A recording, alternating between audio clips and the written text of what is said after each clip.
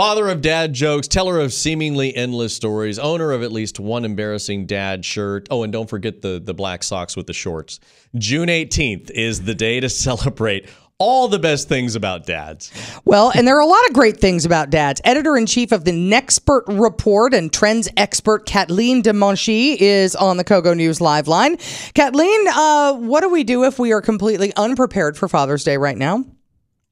Well, Adana, we don't we we fake it. What can I tell you? We can get him all kinds of things that make it look like it's not last minute. So if dad is stressed out, how about a massage right to his home? Uh, there, you can download an app at Z-E-E-L, Zeel, and they will do right. They'll do that just for him, and it'll look like he planned it for a long time. That's a good idea. What else are dads looking for this year? Well, definitely, if if you haven't tried voice control, you know, Google Home and Alexa are in everything right now. And for example, for the millennial fitness dad who's really wanting to push things, uh, there's something called the Vi. They're biosensing earphones uh, that, in fact, with they're like having a personal coach with you that will guide him and tell him to keep on moving. Uh, also, there's a Roomba with Alexa this year who can do the cleaning for the house. So if it's his turn, he doesn't have to actually take the vacuum out.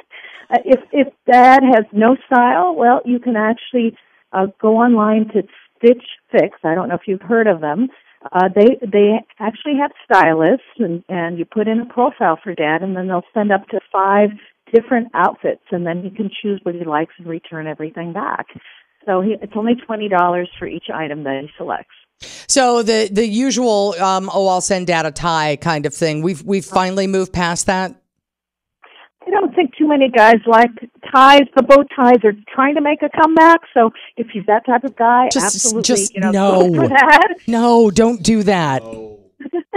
you don't like them, huh? And that very few people can get away with wearing them.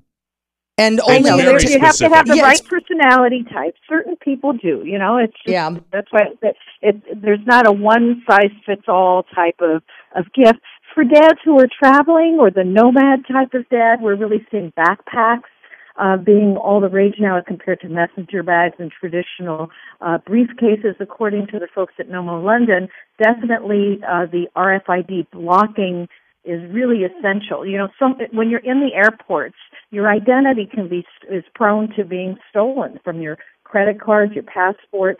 So you want to make sure that your bag has RI, RID, RFID blocking. And if you don't know what that is, it's your radio frequency ID that is used to um, identify you. yeah, Oh, the chips in the in the yeah. cards, etc. Oh, Katlean, like thank you one. so much.